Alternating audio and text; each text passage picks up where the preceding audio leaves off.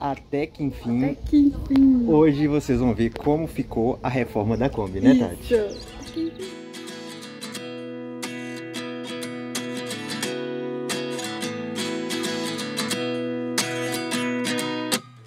At 29 and I find myself wondering uh, what did happen to the last 10. I ran away with my life, fast forward, never turn back.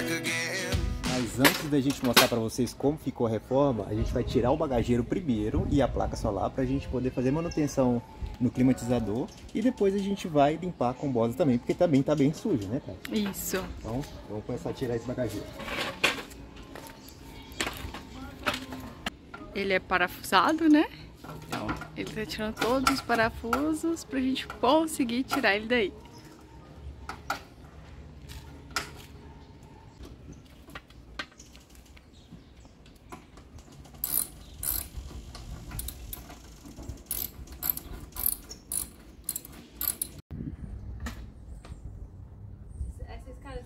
Não.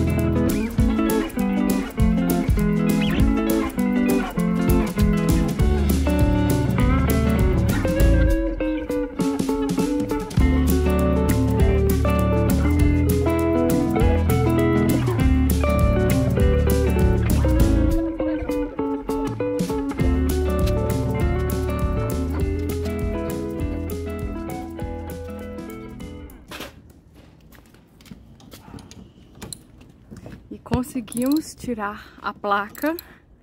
E agora o próximo é o bagageiro. Deu trabalho, hein? Nossa, Nossa, Deus. é pesado. Além de ser pesado, ficamos com receio porque ela é muito sensível, né? É. Tati fica com medo de não aguentar ela. Oh, fiquei. Mas deu Deu certo. certo. Agora eu tô tirando os parafusos pra gente tirar o bagageiro fora.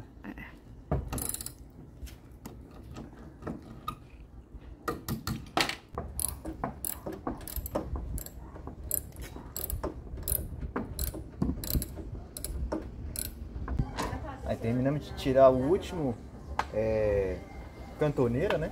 E agora a gente vai tirar o bagageiro. Tá bem preso, viu? Ó, um lado soltou. Deixa eu colocar isso aqui ali. E aí a Tatiana vai vir me ajudar de novo. Será? Ô, mulher forte, viu?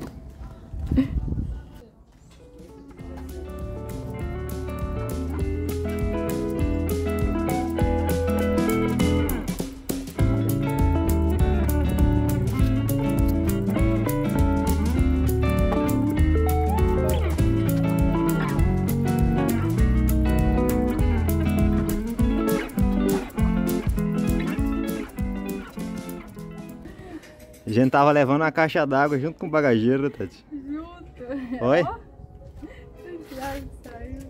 Por isso que a gente vai reformar ele, né? Exatamente.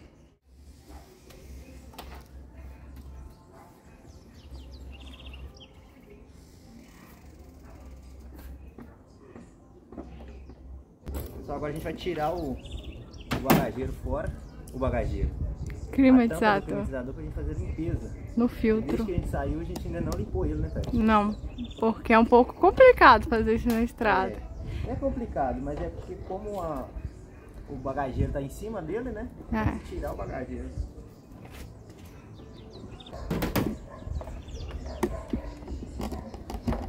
Aí pessoal, a gente desmontou e olha a poeirada que tá nesse filtro desse climatizador. Olha. Você tá doido. Tá bem sujo, viu? Ó, que bobeira. Ué, mas também nunca limpamos, né? Então tem que estar tá sujo mesmo. Aí, pra quem tem curiosidade de saber como é que é um climatizador por dentro, é assim que é ele. Aqui tem a bombinha. Aqui é o filtro que a gente vai tirar para fazer a lavagem dele. E esse é o climatizador por dentro. Olha a cor que tava isso. do filtro. Ó. Tá doido. Vou soltar essa água. Dá mais umas três lavadas mesmo. Credo. Isso pra quem tem rinite igual meu caso, É é uma péssimo. beleza. Isso aqui, pessoal, o climatizador joga água nesse filtro. E aí o ar passa nesse filtro molhado pra resfriar a Kombi, né, Tati? Por isso, Isso. que chama-se resfriador. É, tirar. Mas basicamente a função disso aqui é só você ficar encharcado de água para passar o vento nela e levar um vento mais frio. E olha só. Tava sujo, tá? Ah, Tá sujo, tá, né? É isso que eu falo, tá sujo Ó, até a tampa sujou muito. Hum, Por mais que vede, né, a poeira sempre acaba entrando. Não tem jeito, entra mesmo. E de tempos em tempos também tem que fazer essa, essa Limpeza. limpeza, né? A gente até passou da data de fazer essa limpeza, É. mas é porque realmente na rua a gente tirar o bagageiro fora é bem Complicado. complicado.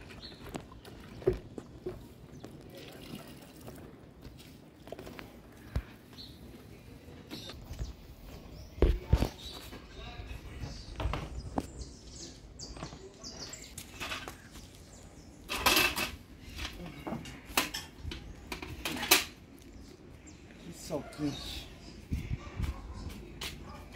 E agora, pessoal, tá na hora da gente vir e limpar toda essa bagunça aqui. Limpar a bagunça, tirar essas coisas, dar uma esfregada em tudo, porque tem poeira da Amazônia aqui ainda, pra gente poder mostrar pra vocês como que ficou, né? Isso, a nova versão dela. A nova versão. Então agora é hora de tirar a poeira, limpar, arrumar, pra vocês verem como que ficou. Isso. E nós vamos voltar também com as cortinas, né? Que a gente tirou elas pra Pra lavar, lavar. a A capa dos lavou. colchões. Isso. Vamos colocar tudo aqui pra ver como que ficou, pra ver se foi aprovado esse novo projeto. É. to the city streets. We began to feel the fire.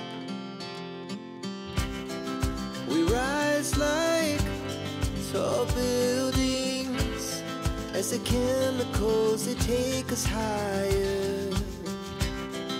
The night's young, it has just begun as she puts her hand in mine. Agora a Tati vai limpar a parte de dentro da parte elétrica. Que sujou foi é muito, né? Muito? Ó. Você tá doido. A sujeirada que a gente raspou as tintas, né? É. Agora a Tati vai dar uma geral ali embaixo.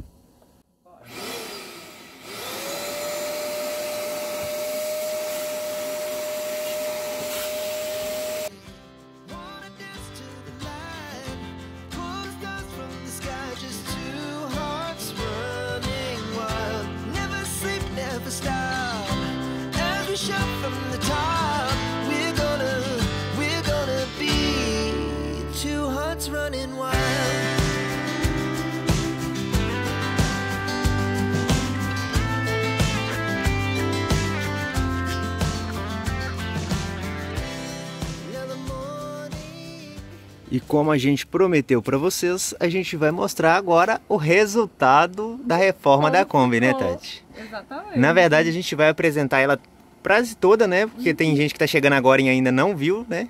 Então, nós vamos começar pelo lado de fora. Aqui a gente colocou a nossa mesinha, que é de clique. Aqui tem o fogão. O fogão também é retrátil, ele vem e vai para dentro, se a gente precisar de cozinhar do lado de fora. E começando por aqui, a gente tem os armários, né? Mas foram basicamente o primeiro que a gente mexeu. Que foi esse, tá? Isso. E esse. O antigo que a gente tinha, né? A outra porta que a gente tinha, tinha um buraco buraco aqui, ó. Passava uma mão. Passava uma mão assim, ó, fechada, de tão grande que tava a fenda, né, Tati? Ah, A gaveta. Também nós fizemos. Colocamos também duas travas. Isso, esperamos não abrir, né? A outra reforma foi a parte de cima. Isso, trocamos toda essa madeira, né? Trocamos a madeira e pintamos. Vimos que não ficou boa e tivemos que colocar forro. Então forramos ela. E detalhe que a gente também colocou três travas desse aqui, olha. E aí tá ficando... Fe- Abre aí pra eles verem. Ó, ó. Eita! Pra fechar tem ter que fechar com as duas mãos. Esperamos Então, que segure agora, né? Aqui é só uma porque ele é menor, então tá bem. Esse aqui a gente colocou duas também. Isso. A gente trocou aqui, em vez de tinta nós forramos. A canaleta, olha, que a gente colocou aqui. Colocamos Faltou colocar aqui, mas a gente vai colocar depois também. depois, fize- refizemos essa mesa, Isto. que era trocar o tecido, porque o tecido já tava velho, feio e rasgado. Aqui em cima nós refazemos também o guarda-roupa, que também tá bem forte a trava. Colocamos três travas nele. também. Isso. Tem que fechar de duas mãos. Aqui nós refizemos o guarda-roupa também.